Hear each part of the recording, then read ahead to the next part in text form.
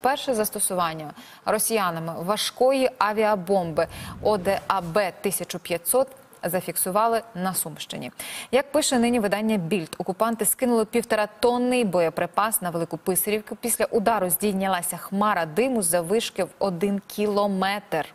Зауважимо, що об'ємно-детонувальна авіаційна бомба це термобаричний снаряд часів СРСР, який приблизно за 10 метрів до цілі випускає горючу рідину у вигляді аерозолю і підпалює його. Раніше росіяни вже скидали подібні авіабомби, але меншої маси. Військовий експерт видання Юліан Репке вже назвав використання півторатонної бомби на Сумщині новим дном у війні Росії проти українських міст. Давайте поговоримо про цю бомбу з гостем нашого ефіру. Ігор Романенко, військовий експерт та засновник благодійного фонду Закриємо небо України, генерал-лейтенант запасу, долучається до нас. Пане Ігорю, вітаю вас! Слава Україні! Героям слава вітаю вас.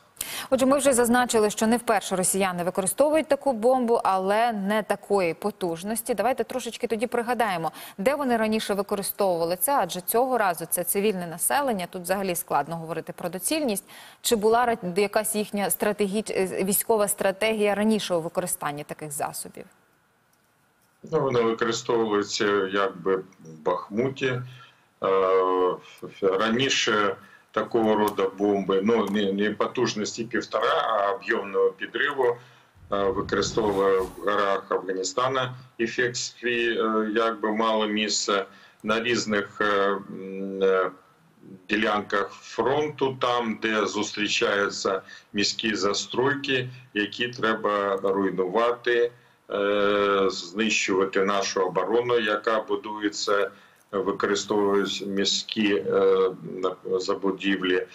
І тому, якби в принципі, це це бомба не, не нова об'ємного детонування, але такої потужності ми бачимо, що за часи широкомасштабної війни ну вони це приклад, який показав заснятий, який використовується, він новий. Тобто ворог шукає шляхи удосконалення своїх можливостей відносно проведення наступальних дій, в тому числі ми, ми бачимо на сході країни наші там багато конгломерацій з застройками, там багато міст маленьких, великих і шукають можливості відносно впливу на нашу систему оборони, в тому числі і застосуванням такого роду бомб.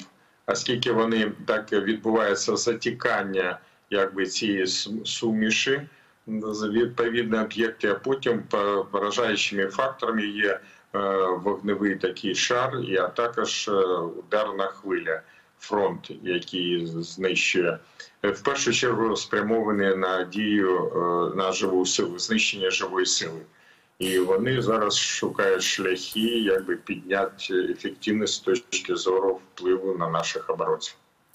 Е, доволі вичерпно, але все-таки я хочу навіть і пояснити, чому я запитала, чи раніше таке використовували, бо таке враження, що це просто тестування у тому місці, де їм це зручніше зробити, скинути цю авіабомбу без будь-якої загрози е, для них самих, тому що кидання ось такої потужної бомби дійсно на прикордоння Сумщини це дуже і дуже е, специфічне рішення. Тобто їм не треба нічого випробовувати. Вони знають, як це працює, вони знають, як це скидати. Вони це використовували. Те, що вони роблять це на Сумщині, це якийсь акт залякування, чи для чого вони це роблять? Чи можливо їм справді потрібно якесь додаткове випробування? Чи вони хочуть перетягнути туди сили протиповітряної оборони? Що ми можемо проти них дій?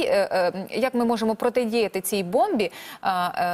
І відповідно на що вони тоді розраховують, роблячи це, які наші сили, наші потужності вони розраховують підтягнути в цей регіон, якщо вирішили бити саме по ньому?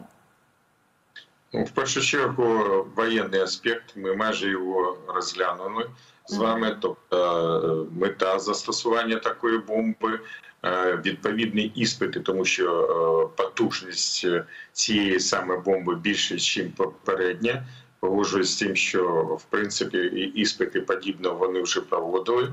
У них вже опрацьована та технологія вироблення такого роду бомб, але питання де збільшення потужності. Але те, про що ви говорите відносно, е, скажімо, тиску морально-психологічно і на наших оборонців воїнів, і на цивільне населення. Ну тут безумовний цей фактор. Вони завжди е, одна із задач, яку е, вони планують під час проведення бойових дій, залишають відносно того, що е, треба тиснути на населення, яке в свою чергу під е, впливом таких засобів ураження повинно е, значить, тиснути на наше воєнно-політичне керівництво, яке повинно просуватися в бік переговорів, е, які дали можливість росіянам легімітизувати захоплення е, значить, наших українських земель. От такий, такий алгоритм, така схема.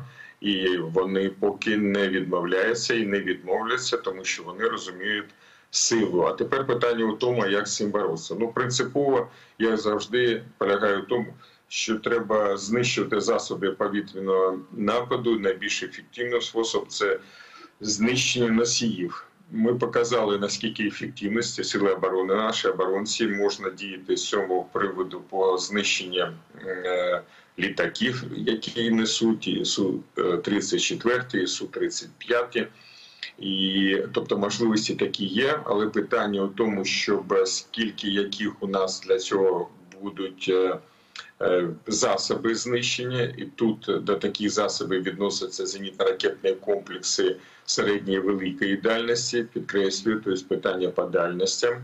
Е, Тоді будуть результати, а також е, нові засоби винищувальної авіації, ті, які американці гальмують штучно з кінця минулого року, і ті, які в такій ступені вже готові, щоб можна було е, починати діяти. А я нагадую, що винищувальна авіація це далекобійна рука системи протиповітної протиракетної оборони. А американці не, не дають, е, щоб ми могли застосувати цю руку і ефективно діяти, в тому числі, а можливо, в першу чергу по носіям такого роду е, бомб, а також е, е, керованих авіаційних бомб, які мають можливості пла- планувати і які мають підвищену точність е, влучення в ціль.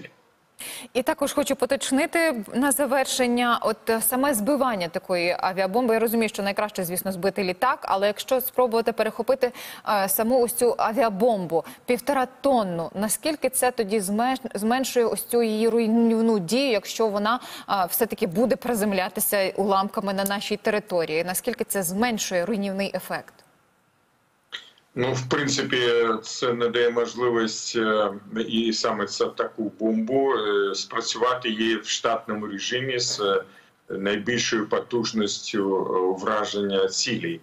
А, І тому погоджуюсь з вами, що впливати треба не тільки на носії, а намагатися робити і безпосередньо по самій бомбі. Хоча як фахівець з точки зору протиповітної оборони можу сказати, що відповідних ефективних сучасних е, засобів у нас обмаль. Вони такого роду є. Це скорострільні зенітні артилерійські системи, американські, наприклад. Ми неодноразово звертались до них, щоб надали. Хоча б іспити, як вони це роблять, багато хто, які е, допомагають нам свого озброєння, але на зустріч з цього приводу вони не йдуть. Тому принципово безумовно це знищить ефект застосування, якщо е, е, ну і в повітрі до того, як по самій бомбі, але це велика складність для наших засобів, які ми маємо.